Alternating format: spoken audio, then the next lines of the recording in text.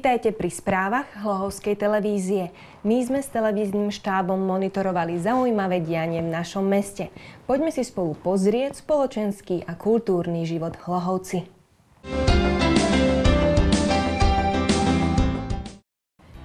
Hlohovec má podrobný prehľad o stromoch na svojom území. Naše mesto ušetrilo 341 tisíc elektronickými aukciami. Na Hlohovskom gymnáziu sa konal Deň otvorených dverí. Divadelná spoločnosť Dobrých kamarátov uviedla svoje predstavenie Ja, Katarína vám píšem. Boli sme na výstave v Hlohovci, kde sa prezentovala tradičná i súčasná drotárska tvorba.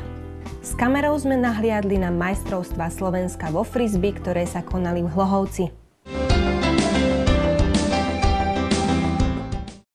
Hlohovec má podrobný prehľad o stromoch na svojom území. Mesto sa o zeleň snaží starať s prístupom dobrého hospodára. Viac sa dozviete v nasledujúcej reportáži. Takmer 7 tisíc stromov, ktoré rastú na území mesta Hlohovec, je podrobne zdokumentovaných. Mesto tak urobilo ako jedno z mála na Slovensku významný krok dopredu v odbornej starostlivosti o zeleň. Spracovať dokument starostlivosti od reviny je povinnosťou každého mesta či obce a vyplýva zo zákona o ochrane prírody a krajiny. Mesto Hlovec ako správca verejnej zelene potrebovať prehľad jednak o súčasnom stave zelene v meste a teda hlavne tej drevinovej zložky a jednak aj o tom, ako by sme mali pristúpať v budúcnosti k údržbe a ošetrovaniu týchto drevín. Dokument starostlivosti od dreviny nadvezuje na pasport zelene, ktorý bol spracovaný už v minulom období. Doplnili sme parametre drevín, a je to najmä teda ich presná lokalizácia v teréne, výška drevín, šírka korún, takže máme tam v podstate priemety e, korún v teréne podchytené. Priemer kmeňa a ku každému stromu je spracovaná tiež fotodokumentácia, takže každý strom má akoby takú svoju kartu samostatnú s celým popisom zdravotného stavu. Z takéhoto podrobného návrhu môžu odborníci zvážiť naliehavosť jednotlivých opatrení, ako je ošetrenie drevín a v prípade havarijných či poškodených stromov i výrub. Na tento krok je však ešte potrebné výrubové povolenie od orgánu ochrany prírody. Stromy na výrub budú riešené v etapách. Tie prvé etapy pôjdu tie najhoršie stromy, ktoré majú nejaký defekt, majú, sú nejaké rizikové. V ďalších etapách pôjdu stromy, ktoré sú menej rizikové. Celkové množstva tých 7 tisíc drevín, ktoré tam máme zmerané, tak pôjde asi tak 5 eh, drevín dole na výrub. Vyrúbané stromy budú neskôr nahradené novou výsadbou na vopred určených miestach. Informácie o jednotlivých stromoch sú dostupné i verejnosti prostredníctvom webovej stránky mesta alebo na portáli Stromy pod kontrolou. Miroslava Hankoščáková, Hlohovská televízia. Mesto Hlohovec vyriešilo verejné obstarávanie po svojom. Konkurenti sú prinútení znižovať svoju ponuku. Šetria sa takto verejné financie. Elektronické aukcie, ktoré mesto Hlohovec zaviedol do procesu verejného obstarávania, ušetrili mestskej kase už nemalé finančné prostriedky. Systém elektronických aukcií bol spustený v novembri roku 2016. My sme za tých 13 mesiacov do konca roku 2017, čo bežia elektronické aukcie, na 14 obstarávaniach, ktoré pôvodne tie najnižšie ceny dohromady bolo asi 6 miliónov eur. Sme z toho ušetrili ďalších asi 5,5%, a to znamená asi 340 tisíc eur. Na aukciu je pre uchádzačov vopred vygenerovaná výzva. Systém sa spúšťa online na pol hodinu a predlžuje sa podľa nových ponúk. Ten princíp elektronické aukcie je jednoduchý, zatiaľ čo ten štandardný proces verejného obstarávania vlastne obálkový je, že sa vyhodnotia ponuky a pokiaľ je kritérium najnižšia cena, tak vlastne tá najnižšia ponuka v tom obstarávaní vyhráva.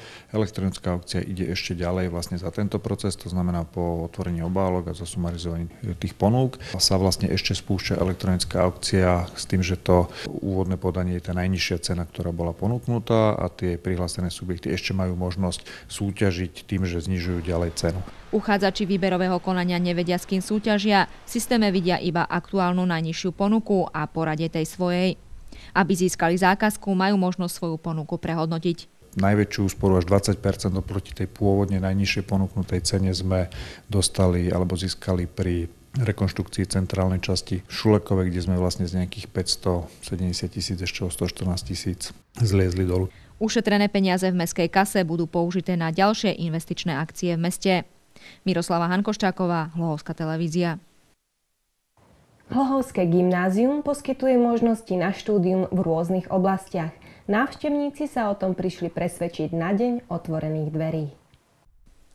Gymnázium Ivana Kupca v Hlohovci otvorilo koncom januára svoje brány budúcim študentom z radov žiakov základných škôl, ale i s vedavcom. Gymnázia od ich založenia poskytovali všeobecné vzdelanie študentom a pripravovali ich na vysokoškolské štúdium. U nás si žiaci môžu vybrať z troch foriem gymnáziálneho štúdia. Štvoročného, 8-ročného a najnovšie aj 5-ročné bilingválne štúdium. Som študentkou Octavia a táto škola mi dala toho veľa. Vážne som tu už 8 rokov a myslím si, že táto škola je výborná aj čo sa týka vedomostí, že veľa ma toho naučila Profesori sú naozaj kvalitní a dobrí.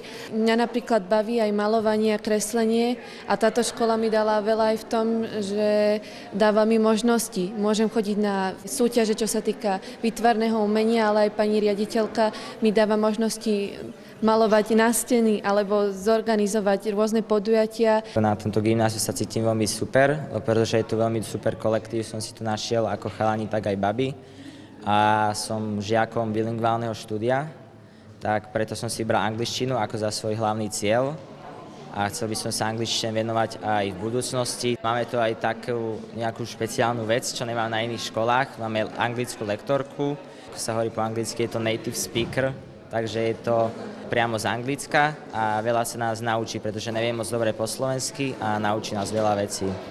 Škola má dobré vybavenie na štúdium ako chemické laboratórium, fyzikálnu učebňu, dostupnú počítačovú techniku, ale i novú jedáleň.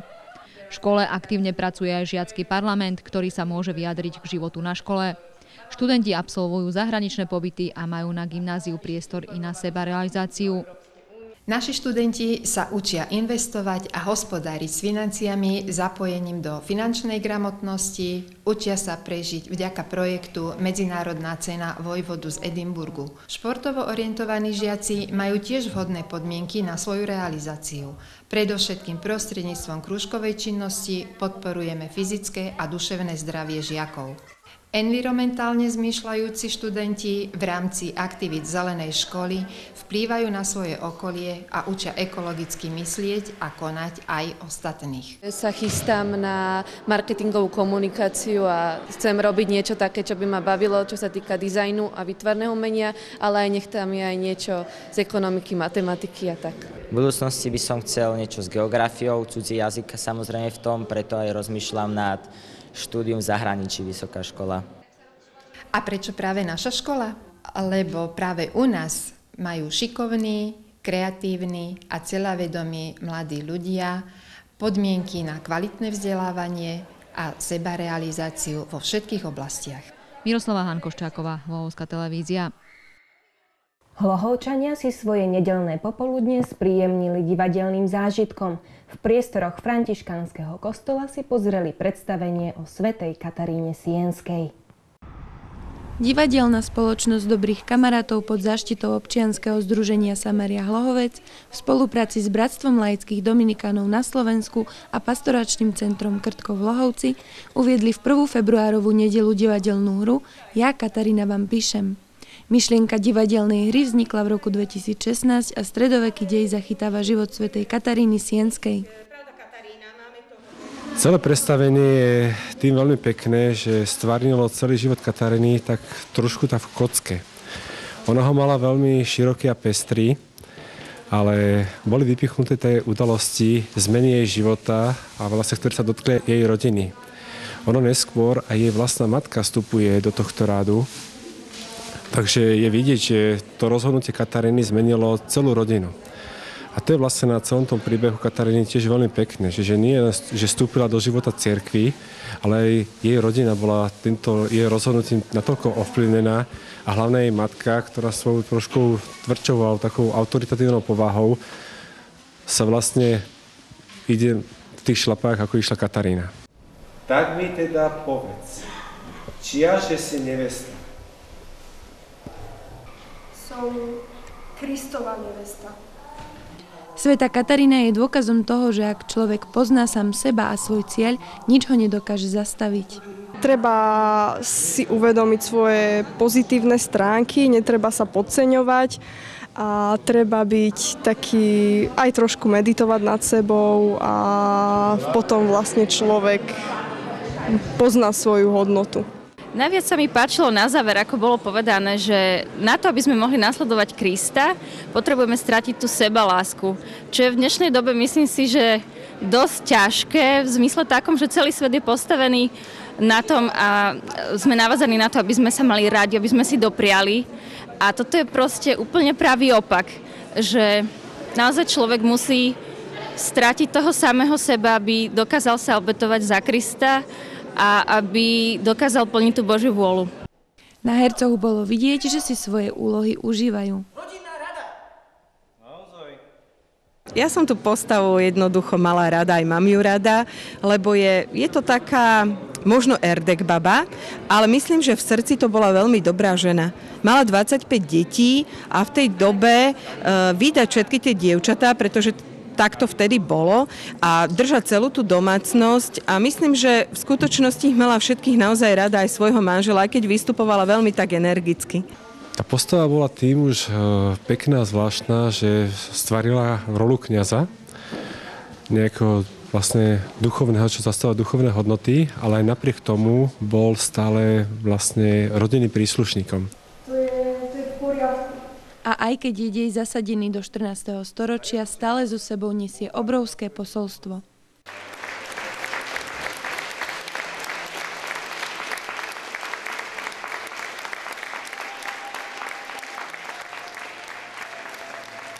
Predstavenie zožalo obrovský úspech, dôkazom čoho bola aj standing ovation od divákov. No a my sa už teraz nevieme dočkať, čo nové nám divadelná spoločnosť opäť prinesie.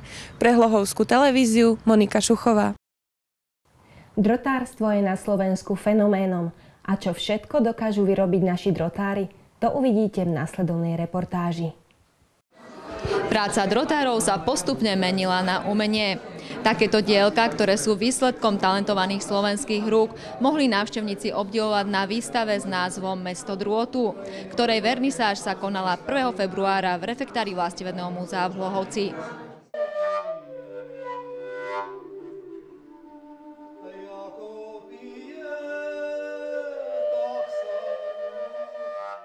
Myšlienka organizátorov usporiadať takúto výstavu vznikla už pred rokom a pozostáva z tvorby 40 slovenských drotárov. Vystavené je tu aj to klasické drotárstvo, treba z Joško Zoller, čo robí, alebo Jano Šušuk, ale sú tu veci také, ktoré, ktoré sú skore do toho umeleckého drotárstva. To znamená, to sú tie dievčence z Bratislavy, ale aj teda diela od pána Jurovatého. A máme tu aj dve šperkárky, Tamaru Kostovskú a Hanku Kravčíkovú, ktoré robia z, zo streborného drôtu krásne šperky. Na výstave boli prezentované viaceré techniky ako košikárstvo, slučkovanie, šita čipka, ale i osobitné štýly. Našli sa tam aj staré dielka, ktoré už niečo pamätajú. Máme tu jednu vitrínu, kde je stará drotárska krošňa, s ktorou chodili tie drotári po svete a sú tam hrnce, myslím, že dva alebo tri, ktoré to boli opletané ale máme tu napríklad aj jedno dielo od Jozefa Holanika Bakela, ktorý žil pred 100 rokmi a on prvý začal techniku košikárskú a to sú také šperkovnice, ktoré sú najvyššie pozlatené. Lohovec úzko súvisí s drotárstvom i vďaka výrobe tohto materiálu v miestnej fabrike. Drotárstvo na Slovensku však nikdy nemalo svoju dielňu. O jej vznik sa zaslúžil pán Jurovatý, v ktorého šľapajach pokračuje i jeho syn, hoci chcel byť pôvodne zlatníkom. Drotovňa Hlohovec potrebovalo sa postarať trošku o zdravotne postihnutých zamestnancov a invalidov. Hej?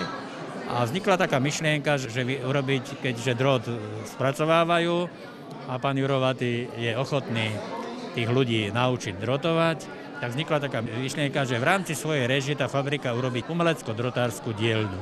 Otec e, narobil vzory, ktoré sa vyrábali, bol vyrobený krásny katalóg ten katalóg mal poradové čísla, mal cenník a, a táto drotárska firma fungovala takto. Drotárstvo si našlo cestu i k viacerým majstrom s iným pôvodným zameraním.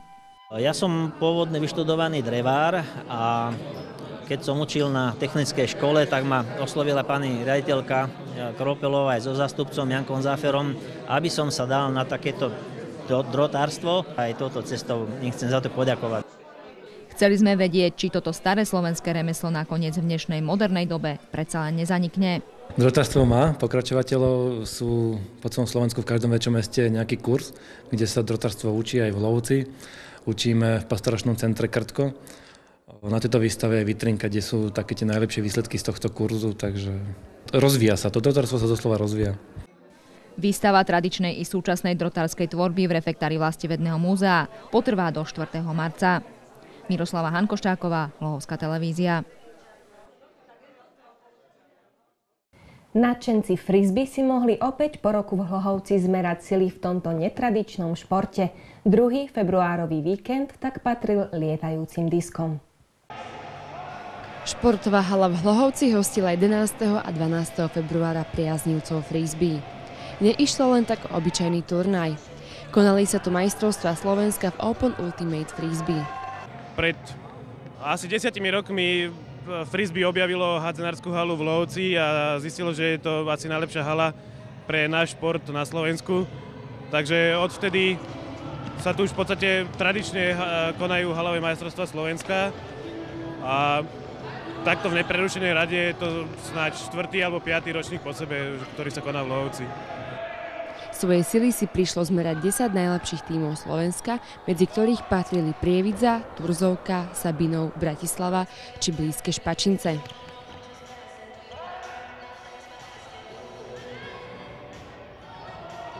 Základný rozdiel e, v pravidlách oproti iným športom je to, že tento šport sa hrá e, bez rozhodcov.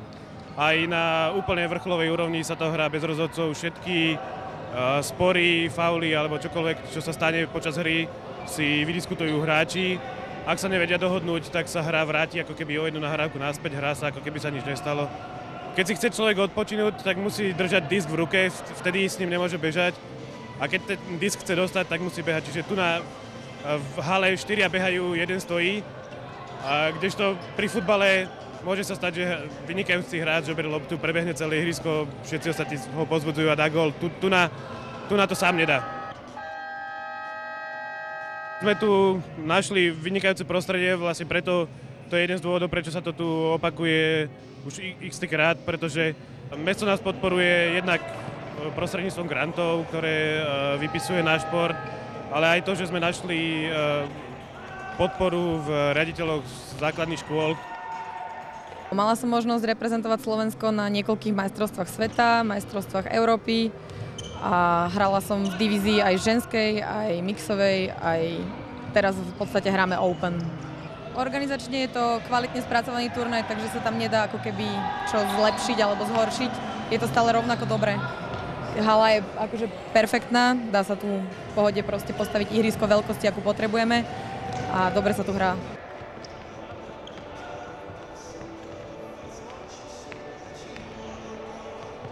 Zlato si odniesli Baník Prievidza, druhé miesto obsadil Iron Horse Bratislava a bronz získali kus plastu Senica. Cenu Spirit of the Game si odniesli kus plastu do Senice a jediný tým s lohoveckou účasťou Discredit skončil na 7. mieste. Týmy, ktoré prišli minulý rok v zložení, že tu bolo veľa nováčikov, za ten rok na sebe zapracovali a v podstate sa tak zlepšili, že sú teraz oveľa silnejším súperom. Chcela by som zavolať všetkých do Bratislavy na naše tréningy, ktoré máme vždycky vo štvrtok v Bratislave na Mladej garde o 17. hodine. Pre Hlohovskú televíziu Šarlota Štertová. To bola záverečná správa spravodajstva. Pripravili sme pre vás zaujímavé dokumenty a publicistiku.